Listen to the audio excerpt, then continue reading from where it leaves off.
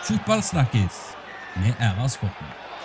Hei og hjertelig velkommen eh, til en ny utgave av Fotballsnakkes. Eh, Denne gangen så har vi vært og møtt både Kjell Jonevre, vi har eh, snakket med André Danielsen, vi har et eh, innslag med Aksel Berge Kjølsvig, og vi har snakket med Vegard Ånestad. Men først av alt, eh, Frode, la meg åpne med Viking.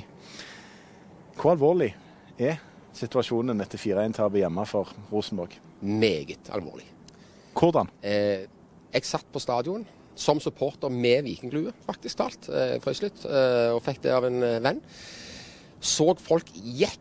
Det apatiske, stillestående spillet. Pipingen til pause. Eh, ingenting fungerer. De har tapt hjemme eh, mot Rosenborg, greit nok, men så har de òg tapt borte for Stabæk og for Mjøndalen i, i, i løpet av de fire første kamper. Og fikk to mål gratis av Tromsø, som gjorde at de vant den kampen. Det er krise. Ja, for det, at det er jo ikke bare sportslig det er krise i Viking. Det er krise virker litt som i, i alle ledd. Økonomien de er på vei inn i rød sone hos forbundet. Fansen virker som de allerede er i ferd med å gi det litt opp. Uh, hva, og, og prestasjonen sportslig, uh, Rosenborg, hva er det som går galt? Altså, det er jo nesten Murphys lov. altså Alt som kan gå galt. Selvforsterkende effekten, rett og slett? Ja, egentlig litt grann sånn. For dette elleve mann som er litt usikre på, på, det de skal prestere. Et godt motstanderlag som gjør det veldig vanskelig for Viking. Eh, lunken stemning sånn innledningsvis til kampen fra publikum som gjør at stemningen blir litt sånn uh, Gjør jeg en feil nå, så blir det pipekonsert. Og så har du hele denne selvforsterkende effekten som, som det gjør. Eh, Men vi er ikke for kjappe da på å trykke på, på, kriseknappen? Det er jo ikke spilt mer enn fire kamper av Tippeligaen? Nei da, altså selvfølgelig. det er er vi ikke for kjappe. Viking har blitt nummer 11 og nummer 10 eh, eller hva er for noe i de to foregående årene. De starter årets sesong De ble nummer fem, Frode, altså, for to år siden. Du skal ikke ta det for langt her. Skal ikke ta det for langt, men de har hatt dårlige resultater i slutten. Og fotball er ferskvare. Eh, det er det vi lever av, det er resultater. Eh, dessverre på en måte. På en annen måte så er det forståelig. Og, og med de sviktende resultatene Viking har hatt, så skjønner jeg eh, den prosessen som nå pågår i klubben. Nå prøver de å samle seg i bånd. Eh, de står nærmest alene, spillerne og, og støtteapparatet. Det, det må jo kjennes ut som en fantastisk utfordring. For det er faktisk mulig å gjøre noe med dette. For den spillerstallen Viking har, den er ganske god. Akkurat det er Kjell Jonebrett òg eh, tydelig på, og nå maner han til kynisme. Det er jo litt sånn at Folk tenker 10., 11. plass, tre tap Mjøndalen, Stabæk, og så er du der. Ja, jeg er helt med på det. Og det er liksom Forventningene på Viking er jo der hele tiden. Og det må vi leve med. Det, det kan ikke vi forandre, liksom, utan de er jo der. Men, men, det vi kan gjøre, det er liksom å forsøke liksom, i her nede og ute på feltet her, jobbe på med det vi kan påvirke. Og jeg tror at det kan være nyttig også å få den smellen som vi har fått nå. Vi, vi kommer ikke være cocky direkt når vi åker til Sandefjord, eller når vi nu møter Molde og Odd här de två nästa hemmakamperna. Det är klart att vi måste vara lite mer kyniska. Det är klart att vi inte ska... Vi kanske, vi kanske i det läget vi är så kanskje vi skal være nøyd med 0-0 på en riktig drittdag mot Stabæk. Og så tar vi og rider ut den stormen i stedet for å forsøke å vinne enda inn i 92 minuten og så taper vi til slutt. Og Derfor kanskje det kan være bra det her støyet rundt klubben då. For folk kanskje ändå forstår at det er ikke så fantastisk. Vi har ingen fystränare, vi har ingen spillerutvikler, vi har en utviklingssjef som har avgått. Altså, vi har interne vi har jobbet rundt sport, men, men vi tycker ändå att vi, vi, vi, ska göra så jävla godt vi kan for at vi, vi slåss varenda dag for å forsøke å vinne fotballkamp. Vidar Nisja sentral på midten. Eh, kanskje en bedre offensiv spiller enn, han er der, med skaden til, til Sverresson. En eh, Samuel Adegbenro og en uh, Suleiman Abdelau. Kanskje eh, eh, sånne interne rokeringer, kommer det skje nå? Det kommer bli en del rokeringer ja. til helgen. Men vi, vi har några positioner i laget. Det är klart att det var, som du säger, men Vidar gjorde, har gjort en väldigt bra försäsong. Ja, ikke du forkleinelse for han, men du skjønner hva jeg mener? Ja, absolut. Nej, men vi har, jag tycker vi har en 16-17 spelare som, som, är relativt jämna. Eh, och, och vi, vi, vi, kanske inte har några stora stjärnor i Viking just nu, det har vi inte. Så nu gäller det att vi vågar, vi vågar och skifta runt lite. Men att vi inte gjorde det nu senast efter förlusten mot, mot Stabæk. det beror jo også på litt skadesituation men det beror også på at vi, vi liksom vil ge folk en chans til. Vi vet at de kan bedre. Men det er klart at nå har vi gjort två mindre bra kamper på rad så att eh, det kommer bli rokeringer til Sandefjord-matchen. Det kommer det definitivt å bli vanskelig lag. De har gjort det bra i åpningen i Sandefjord. Ja, men det, det finnes ingen dårlige tippeligalag så. Utan det, vi har sagt det, og det sa vi redan innan säsongen också. Vi, vi kommer kunna, på bra dagar kommer vi kunna slå alle lag. Men, men vi kommer også kunna kunna, kunna förlora mot de flesta lagen. Alltså det, det är jämnt eh, och framförallt är det ju det de här 8-10 första rundorna. Sen brukar det sätta sig lite mer och några lag brukar få problem och vi hoppas att vi inte ska vara ett av dem. Är det sånn på en måte kan vi konkludere med at det er på med striskjorta, samling, kynisk, og så må vi jobbe knallhardt for poeng og vise at eh, Hva skal si? Det er det egentlig alltid. Ja. Det er det Jo, men nu är det idag, idag leder Ströms- Rosenborg tippeligan men, men liksom, jag menar de, de, det är inte så att de går ut och bestämmer i camper de är ganska kyniske. De lägger sig lite så halvlavt. Väldigt kom- Ja, okej, jag vill inte vara så. Men, men om man säger så, men, det är väl ingen som diskuterar det idag utan idag är det nästan så man kan dela ut guldmedaljerna till Rosenborg. Så att vi måste ju också inse, var, som jag sa tidigare, var er vi? Eh, Liksom, Hvordan skal vi se ut? Och sen så får vi liksom, för det er hårt jobb och, som gjelder i første hand. Og så var liksom at vi behøver ikke åka iväg til Sannefjord og tro at vi skal liksom spela ut Sannefjord. Eller vad fan, slå bollen ned på färjekajen en gang då om det är så att vi... Så det er klart at kynismen måste fram litt mer. Det måste. Kjell Jonrett han vil eh, reise til hvalfangerbyen og slå ballen helt til ferjekaien, eh, Frode. Det er litt sånn spesiell overgang da, fra tikki takka til beinharde Drillo. Nå må, ja, men nå må det jo. Eh, altså, nå handler det om å stenge igjen. Det handler om å vinne de neste minuttene. Det handler om å vinne hver eneste duell. Det handler om å mobilisere en mentalitet og en inngang til kampen som er av verbet å kjempe. Hvis ikke så kommer det ingen vei. Men er det ikke en total fallitterklæring mot det de tidligere har snakket om? De skal være ballbesittende, de skal spille litt fint, de skal ha høyt press. Eh, nå virker det jo som om at de er litt på gang med, med, med en helt annen innfallsvinkel. der. ikke en fallitterklæring når du innfører noe og tar det med deg inn for å forandre Viking? Jo, altså, det, Du har et veldig godt poeng der. Eh, For Det er å sende et signal inn i spillergruppen og si at det vi har gjort nå, det har ikke fungert. Eh, Vi klarer ikke å, å videreformidle det på den måten som vi ønsker, og dere klarer ikke å ta det til dere. Så nå må vi gjøre noe annet. Det, det blir et sånn negativt signal inn mot gruppa. Samtidig så er det voksne spillere, dette her. De vet at det her nytter det ikke å, å, å tro du skal fange den fineste dama når du går på diskoteket. Her handler det om å hente varene. Og hente poengene, rett og slett. Det var gjerne en dårlig sammenligning, men, men eh, det er vel Jeg liksom ser det men Må du ikke trene på det? Altså, Må du ikke da eh, legge om litt i treningshverdagen? Skal du, skal du spille eh, litt mer kynisk, så må du jo òg trene på det. Du kan ikke stå og skylde på spillerne. Litt sånn som ble gjort etter denne Stabæk-kampen. Altså, Da må du jo trene på å ligge dypt og slå lange baller. I, i, i, altså, selv om det, det, bruken er situasjonsbestemt, så må du øve på det. Er det ikke sånn? Du har vært toppspiller. Du har jo tre Kniksen-priser som står her. Du vet jo litt om det, Frode. Ja, altså, og det, det som Kjell Jonevedt sier, eh, det handler om å få det meste ut av mannskapet nå. Eh, å kunne tørre å våge å bruke mannskapet til det det er, kan være godt for. Eh, og Det trenger ikke handle nødvendigvis om at du hiver, kaster alt eh, ut av båten, men, men at du tar ned og toner ned noen elementer. Så du sier OK, i oppspillsfasen så gjør vi sånn som det. Vi, vi trykker godt etter, så vinner vi andre baller. Så spiller vi litt ut ifra det. Vanskeligere enn det trenger det ikke være noen ganger. Så vil det de har trent på, plutselig begynne å blomstre, og da kan de spille på de tingene som, som ligger der inne, tross alt, som ikke nå kommer fram. For en eh, som mener at de ikke skal kaste på båten det de har eh, trent på og det de har øvd inn, det er André Danielsen. Kjell Jonevedt sier at nå er det tilbake litt sånn eller må finne kynisme. Det er ikke dermed sagt at du skal reise til Sandefjord og spille ut de og vinne 4-0. At det, det, den tiden er gjerne forbi. Det handler kanskje om å hente et poeng. altså Samling i bånn og ha den felles følelsen av at eh, nå skal vi ut på tokt. Ja, eh, selvtilliten er gjerne ikke på topp nå for tida. Og det blir for dumt å tro at vi skal bort og spille ut Sandefjord, som du sier. Så nå gjelder det å være litt kyniske, spille litt et, enklere, for vi må ha poeng. Er det, er det endringer i, i, eh, i systemet? Kommer dere til å endre og spille 4-2-3-1, eller hva, hva går det i? Nei, det, det har ikke de sagt noe om ennå, men jeg tror ikke det. Jeg tror vi forholder oss til den formasjonen vi har hatt hele år. Du har jo vært med lenge. Er det et av de vanskeligste tidspunktene som, som Viking spiller dette? Nei, det er det ikke. Eh, og, men hvis jeg følger opp med spørsmålet da, hva er det? Eh, Altså hvis du skal... Ja. Nei, det, jeg, vi sleit enda mer sportslig eh, under Tom Prahl. Ja, Da var det tungt. Nei, det var det tungt. Så hadde du en periode med Åge Hareide, Pep Clotet rett før det. Ja, det det, men eh, vi, vi har foreløpig sammen spilt fire serierunder, så det brenner ikke noe rødlys lys ennå. Men, men det gjelder å plukke poeng nå. Eh, Har du tro på at eh, sånn som du sier, det er godt humør, eh, at spillertroppen på en måte står bak trenerne, og at trenerne står med spillerne sammen, at det, at det kan løftes igjen til et nivå som blir akseptabelt? Ja, det er vi nødt til å gjøre. Eh, for at hvis vi begynner å tvile på hverandre nå, så blir det bare enda verre. Og da blir det utskiftninger, og det, det har jeg ikke tro på. André Danielsen han eh, prater om at folk nesten ikke bryr seg mer når han treffer dem i eh, gaten. Hvor farlig er likegyldigheten for Viking, Frode? Den er jo livsfarlig. Han, han sier vel at eh, de, publikum er i ferd med å gi dem opp. De har ikke gitt dem helt opp ennå, men det er ikke lenge før.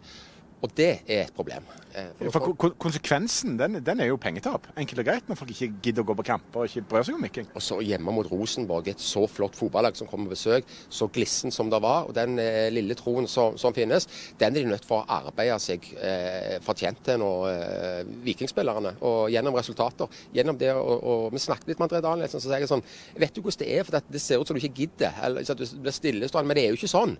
Det er bare dette de effektene de, de, de, de, blir så synlige når, når, ting går så dårlig.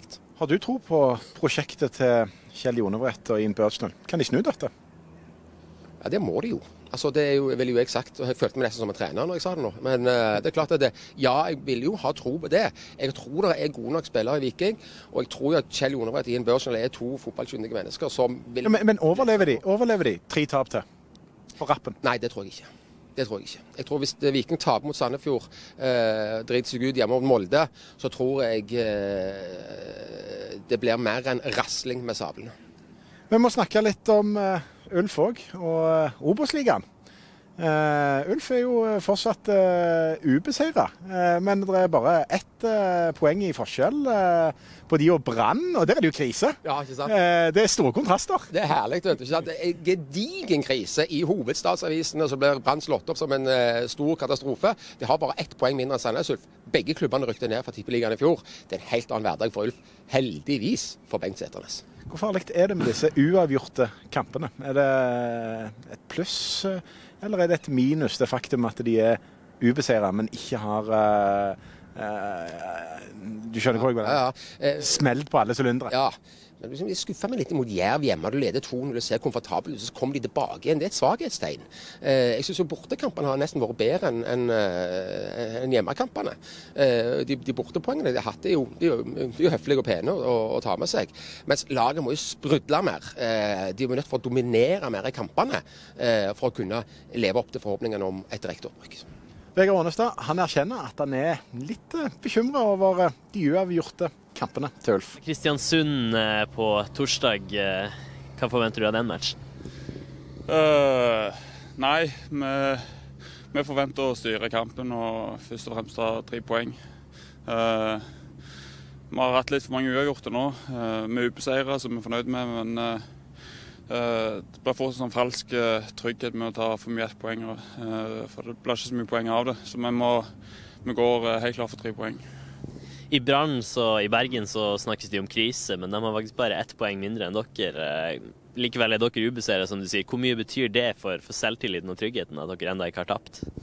Nei, det, det, hjelper på, det. Det er klart. Men vi har hatt for noen år siden òg at vi, vi, var litt fornøyde fordi vi tok eh, mye ettpoengere eh, og slapp de tapene. Men det er i seirene poengene ligger, så det Eh, vi er OK fornøyd med starten, men vi, eh, vi har gitt vekk eh, Vi har spilt et par uavgjort når vi ikke behøvde det.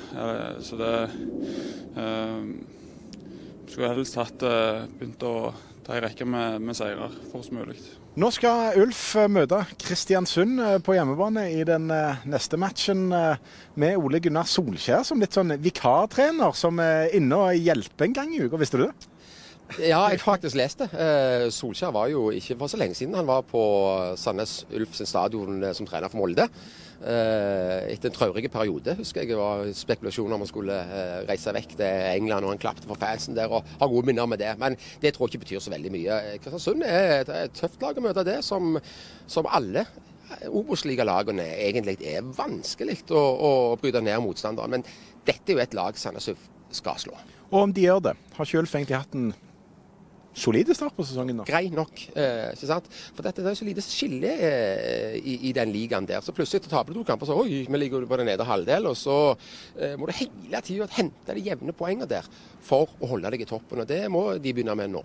For ett mål det holder jo for å vinne en fotballkamp, eh, som kjent. Eh, Ulf slipper inn lite, ja. men de skårer òg lite. Hva skal til for at eh, vårløsningen eh, kommer på Sandnes stadion?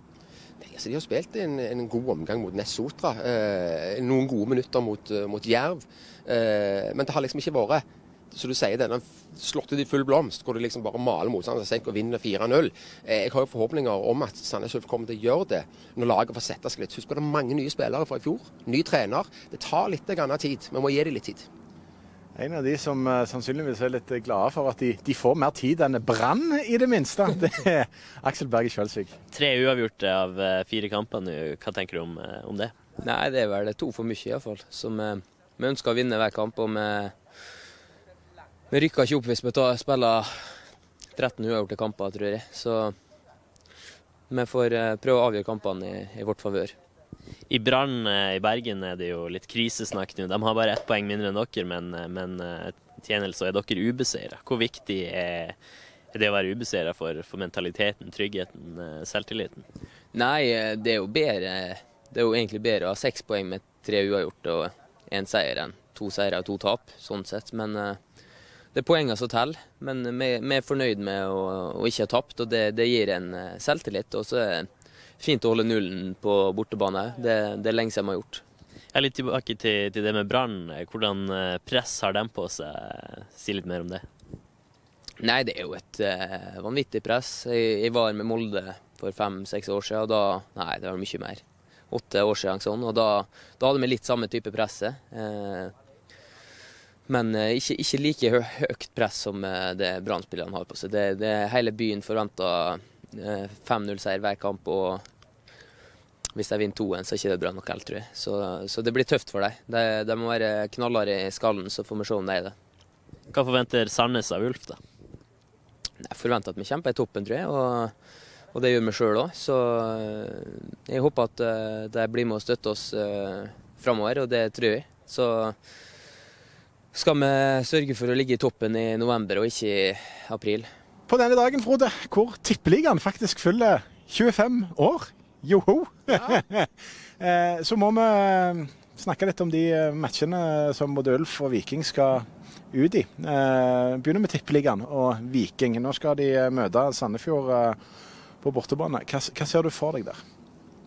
Det er nesten så jeg må hente fram denne Nostradamus-plakaten. Eh, for det er veldig vanskelig å forutse. Altså. Men vi, vi, ser jo et mye mer kynisk vikinglag, vil jeg tro. Eh, og et hjemmelag som kanskje har lyst til å gå ut og dominere dette oppgjøret. De vet at Viking er rusta eh, og har såpass god selvtillit at de kommer til å angripe med det de føler de er gode for. Det kan passe Viking litt bra nå. Faktisk. Så jeg, liksom, jeg ser for meg at Viking kan komme til å ligge helt bakpå og kjøre noen heftige kontringer. Jeg har notert meg 1-0 til Sandefjord. Jeg tror, eh, som pessimisten jeg er, at eh, det blir enda verre. Eh, hva tror du? Resultat? Ja, har, altså, fornuften har jo lyst til å si at jeg er enig med deg. men jeg, jeg satser på et poeng. Jeg, jeg sier 2-2. Og Da kommer vi til den neste matchen. Jeg kommer på mandag, og det er Molde i en kamp som kan bli eh, altså Det kan jo bli Jonorets tidligere arbeidsgiver. Kan jo nærmest beseile skjebnen hans her, om de skulle tape begge. Hva tror du om den? Molde har ikke vært så gode. Eh, de klarer 0-0 eh, oppe i Haugesund, og de har ikke spilt så godt som, eh, som mange hadde forventa. Spennende å se hvordan de gjør det nå til, på torsdag, om de får reise seg igjen. Så det er vanskelig å se fram i tid der, men jeg ser for meg et Rosenborg-lignende mønster der hvor Molde er litt kyniske og vil trykke Viking på sine kontringer og, og spille hurtig fotball. Et, et, jeg tipper at Viking vil vinne den kampen der med et knepent mål. 1-0. 1-0. Jeg har notert meg 1-1, men jeg er litt enig med deg i det der med, med kampforløp. Jeg tror Molde vil legge seg litt dypere, men jeg tror Viking vil svare. Vi òg gjør det. Vi har fått bli en kjedelig 1-1-kamp. Da blir det vel 7-7, eh, siden jeg spår det. Men, eh, men eh, OK, det er mitt tips. Det ligger nok litt der. ikke sant? Det ligger litt sånn følelsen, men så vet en jo aldri. ikke sant? Hvis vi ikke reiser bort der, konter en tre mål mot Sandefjord, voldsom selvtillit, og så plutselig stemmer det igjen. Sånn er fotballen, og det er jo det som er så herlig. For dette kan jo snu. Viking kan plutselig dra opp en joker. Plutselig så hiver han inn eh, Suleiman Abdullahi, og han lager to mål mot Sandefjord. Og to mål mot Molde, og så, så er de i gang. Det er ikke mer som skal til. Han sa jo det i intervjuet her, at det kommer til å bli kraftige endringer inn mot eh, Sandefjord-kampen. Eh, det betyr Adek Benro, det betyr eh, Abdullahi, eh, antageligvis inn med en eh, sentral midtbanespiller. Source kommer sikkert til å komme inn der, eller Sigurdsson trente i dag. Eh, så, så her er det fire-fem endringer som kan òg skape en endring. Sandnes Ulf. Kristiansund er den første motstanderen. Eh, jeg har eh, 3-0 har tippet 2-0. Okay. Eh, ja. Hva tror du? Hvis ikke så hadde jeg blitt overraska. Jeg, jeg, jeg, jeg tipper tre, da, siden eh, jeg sa det 3-0. Det, det er en kamp de skal vinne, og den kommer de til å vinne lett. fordi det, det er noe uforløst i Sandnes Ulf, og det kommer de til å få, eh, få igjen for når de møter mot Kristiansund. Så blir det verre. De skal til Bergen. De skal møte Åsane på søndag. Eh, Åsane, den store overraskelsen. Der har jeg notert meg 1-0 til Åsane, og jeg tror Ulf sitt første tap for å komme der. Hva tror du? Helt enig. Jeg tror de taper 2-1. Eh, nå klarte eh, riktignok Bryne uavgjort eh, borte mot Åsane. Eh, ikke så borte fra at Sandnes kan være i nærheten av det, men jeg tror den lille magien der eh, ikke kommer i deres favør denne gang. Da gjenstår det for oss å si takk for oss, og på gjensyn.